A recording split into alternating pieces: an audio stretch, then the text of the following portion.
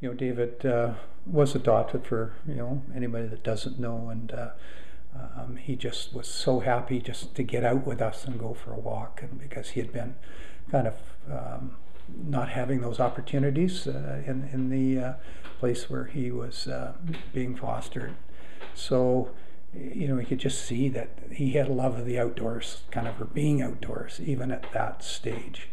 And um, that was something that uh, you know, he maintained throughout his life, despite um, you know the issues.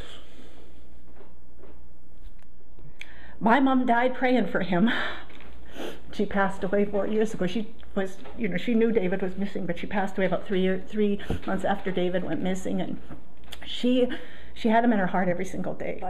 The thousands of hours that we spent on the phone and creeping through the Facebook and looking for that one connection that maybe police just don't have the time to look for, or one person that you remember a name from the past and you manage to hunt for them. I mean, that's a daily thing for us.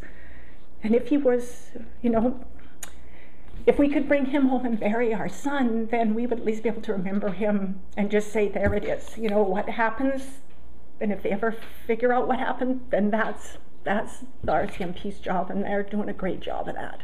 But for us, for me, and I don't know about Bob, it would just be able to just kind of, I don't like the word closure because I don't think that you close a life of a son, but I do know that we would just be able to say, forget about anybody he knew or anybody who knew who knew someone else. It, you could just decide to say it's our son, and he was a great person, and we loved him, and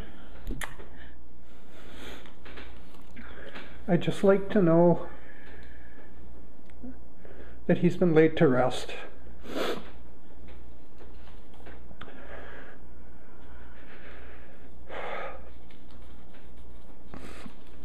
And if there's someone out there who has that, what, what would you say to them?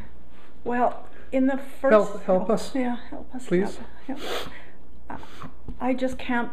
You know, in the first year there was a you know, some, you know, some worry that maybe it was a fearful situation for somebody who knew something, but I can't believe in four years that the few people that David knew in that area haven't been somewhere like a vacation or a concert or a travel, that they couldn't have gone to a payphone in an arena or a bar or any place and called Crime Stoppers and left a tip.